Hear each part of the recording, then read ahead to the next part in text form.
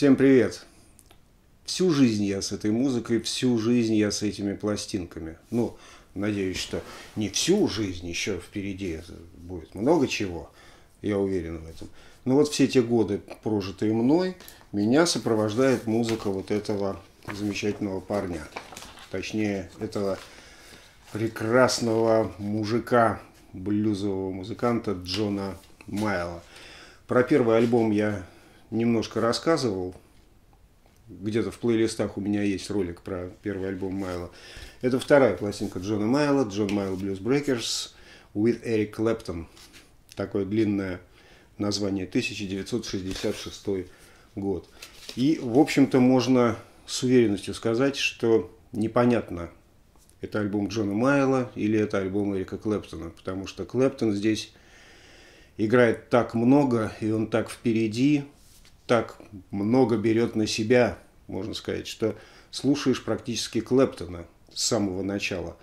А потом вдруг начинаешь слушать Джона Майла, потому что он тоже очень много играет и практически везде поет, за исключением одной песни. Так что нет, это все-таки Blues Breakers, Джон Майл with Eric Clapton. Ну и еще здесь, конечно же, ритм-секция замечательная. Джон Макви на бас-гитаре и Хью Флинт на ударных. Туховая секция из э, трех человек, тенор, баритон, саксофоны и труба на трех вещах. Так что же это такое? В принципе, я соглашусь, наверное, с массой критиков, э, что бывает редко – и в основном слушателей, любителей британского блюза, что эта пластинка – это, наверное, лучшая запись британского блюза всех времен. Ну, пока что вот до сих пор. Есть, конечно, быстрее, есть громче, есть яростнее, есть более блюз-роковые вещи, но если так очиститься, прийти в себя, в сухом остатке останется, наверное, вот этот альбом, как действительно лучшая запись блюза Англии. 60-х, 70-х, 80-х, 90-х, нулевых, десятых и, возможно, и 20-х. Настолько здесь все чисто, хорошо, здорово и правильно, что Отис Раш, известный вам, наверное, блюзовый музыкант, сказал. Здесь, кстати, э, пластинка начинается с э, э, кавера Отис Раша «All Your Love». Так вот, Отис Раш сказал, что если бы Эрик Клэптон ничего не записал, ни одной ноты не записал бы, кроме вот этой пластинки, он бы уже вошел в историю как лучший британский блюзовый музыкант, гитарист. Ну, на самом деле, я не считаю, что Эрик Клэптон лучший блюзовый гитарист. Он великолепен. Он, он на грани гениальности находится, конечно. Но у меня есть много любимых других блюзовых гитаристов. И Эрик Клэптон входит в их число, скажем так. Однако на тот момент времени лучшего ничего не было в Британии. Действительно, на тот момент времени, в 66-м, 65-м, 66 году, лучше никто Клэптона не играл эту музыку. Эрик Клэптон играл в группе Yardbirds, как вы знаете все, и ему это смертельно надоело. Потому что Yardbirds все-таки делали крем в сторону поп-музыки, в сторону синглов, в сторону продаж, в сторону такой хорошей, здоровой, большой попсы. А Клэптон хотел играть блюз. Он очень любил эту музыку и хотел все время ее нести в массы. И не столько, наверное, нести в массы, сколько самому ее играть и просто кайфовать от собственной игры, от этой музыки, от этих звуков, от тех песен, которые он играл. Песни черных авторов, музыкантов, стандарты бронебойные, такие чикагские напевы. Ему это очень нравилось, и в конце концов он из Ярберца ушел, потому что сказал, что хватит, я больше попсой не занимаюсь. Ха-ха-ха. Зная его жизненный путь, можно сказать, что кривая его привела все равно к большой попсе на склоне лет уже. Но хороший такой, здоровый, но поп-музыки.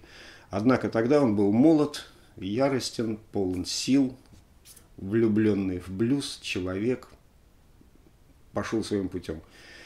И пришел в, в группу Blues Breakers Джона Майла, которая уже вовсю играла по лондонским клубам, выпустила уже первый лонгплей большой.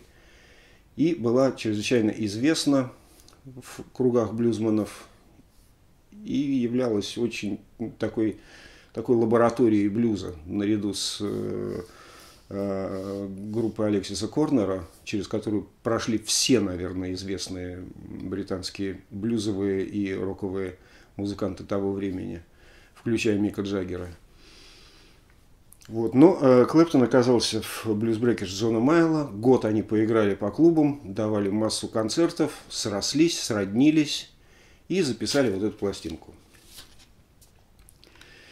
Мне немножко, ну, мое мнение такое, что эта пластинка настолько хороша, настолько выверена, настолько точно она сыграна, вся музыка на этой пластинке, настолько все чисто, правильно, нотка в нотку, ни одного так называемого, так называемого кикса нет нигде. Гитара звучит идеально, просто по, по, по, по, по ниточке, просто вот, вот не придерешься ни к чему. Каждый звук, каждый удар медиатора по струне, никаких лишних чирканий, ничего, просто идеально, кристально все сделано. При этом я вернусь уже к удару медиатора по струне. Есть один специалист большой в интернете, который тут в этом, э, э, дескать, разбирается, но э, не будем о грустном.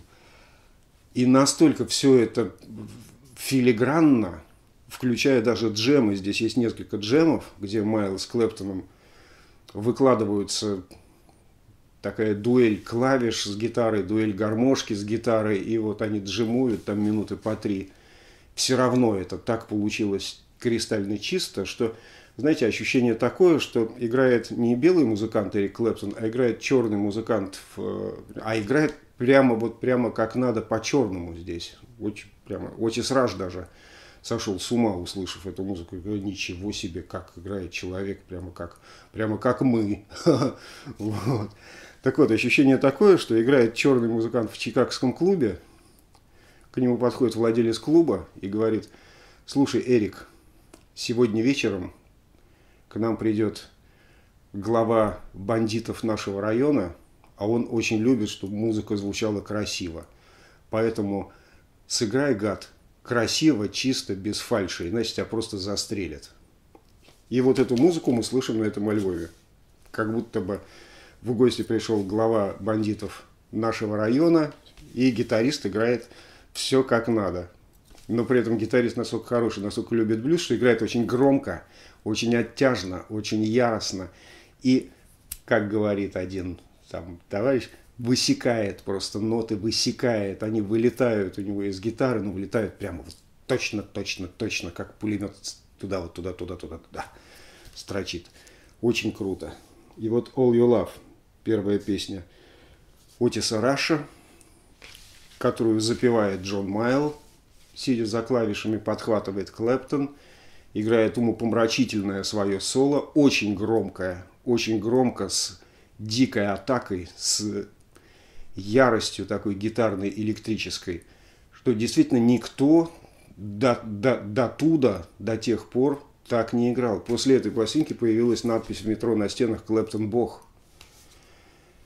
Это было откровение, это, это было совершенство блюза, прозвучавшего в Лондоне, может быть, даже круче, чем в Чикаго. Это, это было потрясающе, действительно. Следующее произведение «Хайдуэй». «Хайдуэй» – это номер Фредди Кинга, инструментальная пьеса практически здесь. И Клэптон задает такого блюз-рока настоящего, что то вспоминается и Led Zeppelin, который будет где-то там скоро, не скоро, точнее, где-то вдали замаячит, и масса вот этих блюз-роковых трио грандиозных, там, Баджи и прочее, прочее, прочее. И, в общем-то, можно сказать, что вот это, ну, мне так кажется, что я бы поставил вот эту вот версию Hideaway как начало британского блюз-рока и тяжелого гитарного рока вообще – Клэптон здесь открыл двери, можно сказать, британскому тяжелому гитарному року. Ну, если All You Love это все-таки блюз, который поет Майл, играя на клавишах, а Клэптон играет соло, то Hideaway это просто номер Клэптона такой зубодробительно гитарной очень громкий, очень электрический. Я не знаю, как он обрабатывал гитару, потому что она, я не знаю, такой пробивной звук, такой классный звук клэптоновский, который он перенес в Крим потом, но в Криме он звучит по-другому все-таки, а здесь он прямо вот разрезает э, пополам все тело. Little Girl, песня Майла. О, маленькая девочка, 18 лет, 18 лет боли. Это прямо Эма. прямо Эма тема такая.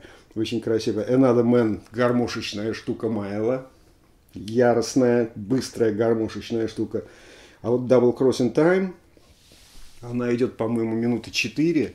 И вот здесь, эта песня тоже. Это песня, которую написали Майл и Клэптон вместе. Майл поет. И вот здесь джем, гитара с клавишами, гитара с гармошкой. Они перекликаются. Майл играет, в смысле Клэптон играет быстро. Дикие подтяжки, дикие бенды, вибрато, качественно крутое, такое, ну, просто вот наслаждение слушать, просто наслаждение гитарное. What, uh, What I Say, песня Рэя Чарльза, безумие, такое безумие, быстрое безумие, уход в сторону буги, преджазованного и я не знаю, прекрасное или не прекрасное, но абсолютно сумасшедшее соло на барабанах Хью Флинта. Но оно здесь к месту. Я не знаю, я не назову его гениальным, так скажем так, но в контексте всего альбома оно прямо к месту тут сводится. Кейт Лав открывает вторую сторону мощной, мощной атакой духовых. Такое ощущение, что звучит биг-бенд, оркестр, хотя всего трое музыкантов играют, два саксофона и труба, но такая атака, такое давление духовых, включается Майл и Клэптон – и уже просто хард пошел, хард блюз с духовыми. Духовые, духовые вообще обычно облегчают э, структуру, а здесь они наоборот, они дают такое мясо, так, такое просто, вот именно хард, хард блюз, ух какой. Паршман Фарм, еще один кавер, опять-таки с гармошкой. Have You Ever Had э, Джона Майла. При, примедленный такой блюз гитарный, где опять-таки поет Эрик Клэптон на гитаре, просто поет и, изо всех сил. И Rambling on My Mind, песня Роберта Джонсона, которую исполняет Эрик Клэптон на, акуст... на электрической гитаре, не то чтобы имитируя акустическую, но такая партия акустической гитары, гитары на электрической с соло, все-таки играет одноголосое соло там порой. Майл играет на гармошке, и это первая запись вокала Эрика Клэптона. Клэптон здесь поет эту штуку «Rambling on my mind». И можно услышать его голос, юный совсем, с гитары Роберт Джонсон. Он купается в этом блюзе, от которого торчит сам как лом, как говорили в наше время. «Stepping Out» Фрейзера – знаменитый риф. Это ну, я не так спел, но это не важно, вы уже ритмически можно понять, что это такое. И понеслось. И вот здесь опять джем, опять Клэптон выкладывается.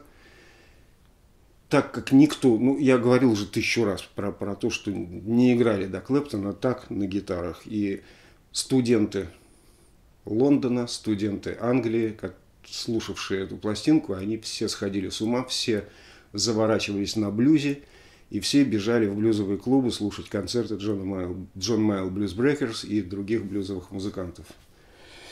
И завершается эта вся история It's, uh, It Ain't Right, еще один кавер, и еще один джем. Но джем уже абсолютно разудалый, все пошло в разнос, но вот этот разнос – на фоне, опять повторю, в контексте, в контексте идеально, кристально записанного альбома, вот этот разнос, он звучит очень естественно, очень на месте и как, как финал такой, что мы все-таки, мы все-таки джемуем, мы все-таки айнене, такие вот блюзмены веселые и можем дать жару где угодно, даже на таком идеально скроенном альбоме. Хотя тоже все звучит чисто. Вот несмотря на эти айнене, вот в этой песне, тоже все чисто сыграно, прекрасно, идеально. И вот что э, меня веселит, что по сути это поп-альбом. Это поп-альбом, достойный Грэмми в блюзе. То есть, а Грэмми даются только поп хорошим, идеальным таким произведением. И Клэптон, убежав от поп-музыки Yardbirds, прибежал к поп-музыке в виде блюза. Но и при этом это настоящий корневой, сводящий с ума и черных, и белых блюз. Вот так получилось. А потом Клэптон ушел и пришел к нам в виде гитариста группы Крим, о которой мы еще поговорим. Крим, поговорим, а я пошел пить. Пока.